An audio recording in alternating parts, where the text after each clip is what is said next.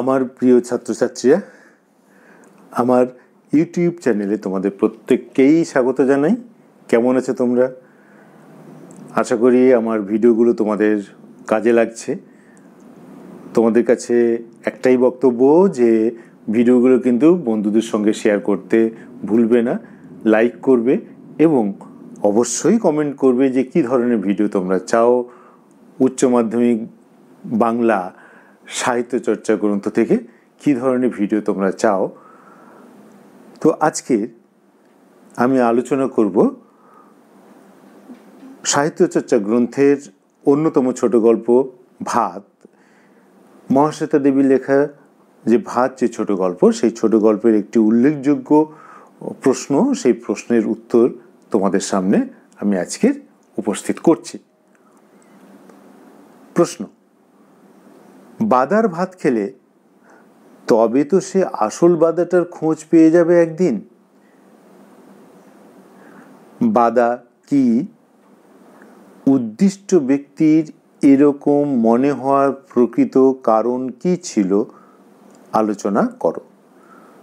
Marks division হলো এক যোগ চার।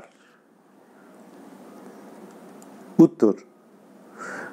বাদা কথাটির অর্থ জঙ্গলময় নিচু জায়গা। বাংলার নিচু জলা জমিতে ধান চাষ হয়। ভাত গল্পে মহাশ্বেতা দেবী এই আবাদি জমিকে বাদা বলে উল্লেখ করেছেন।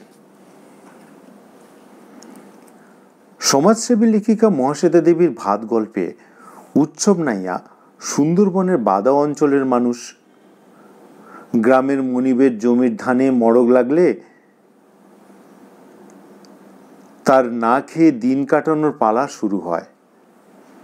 এক ঝড়জলের ভয়ানক রাতে তার পুরো পরিবার মাতলা নদীর বন্যায় ভেসে যায়। ফলে ভূমিহীন উৎসব অনাহারে এবং বউ ছেলে মেয়ে হারানোর শোকে প্রেতের মতো হয়ে যায়। অনাহার ও গভীর দুঃখ থেকে বাঁচার জন্য সে কলকাতার এক বড় লোকের বাড়িতে এসে ওঠে। শুধু এক মুঠো ভাতের জন্য। হোমের কাঠ কাটতে কাটতে উৎসব দেখে বড় বাড়ির কত চাল, সকাল থেকে নানান ধরনের ভাতের গন্ধ তার নাকে এসে লাগে। সে বোঝে, এদের ঘরে কোনো চালের অভাব নেই। এক একজনের জন্য আলাদা ভাত রান্না হয়।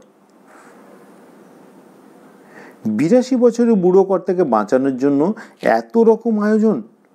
হোটেল সম্পত্তি, বিলাসিতা আর এসবের পিছনে যে বাদার অবদান আছে, তা উৎসব বুঝতে পারে। তাই নিজের হতভাগ্য জীবন থেকে মুক্তি পাওয়ার জন্য উৎসব বাদা অঞ্চলে সন্ধান করতে চেয়েছে।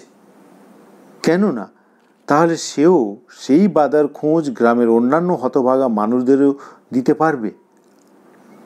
গ্রামের দুঃখী মানুষেরা তাহলে আর না খেয়ে থাকবে না কোনো দিন ঘুচে যাবে তাদের সমস্ত দুর্দশা। এই অংশে আমরা উৎসব নাইয়াকে এক সহমর্মী মানুষ হিসাবে খুঁজে পাই।